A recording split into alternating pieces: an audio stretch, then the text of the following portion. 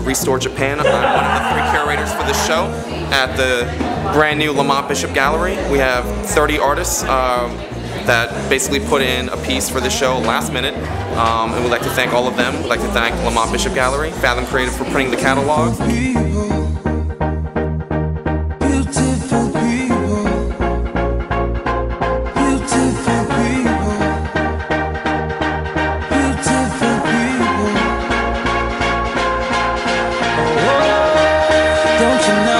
Don't you know? Oh, oh, you're beautiful, don't you know? Oh, oh don't you know?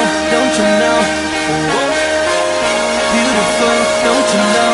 No, no. Live your life, live your life. Let the love inside.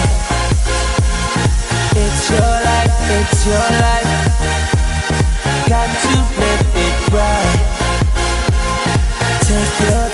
Many people came out. I Yeah. mean, I mean, it was really packed. People were really speaking to one another, and that's what this was all about really coming together and reacting to what's happening in Japan, what's happening here, and how we can help and how we can create with compassion and send it their way. And although this might make a small dent in what needs to happen, I think it's bringing awareness to our community.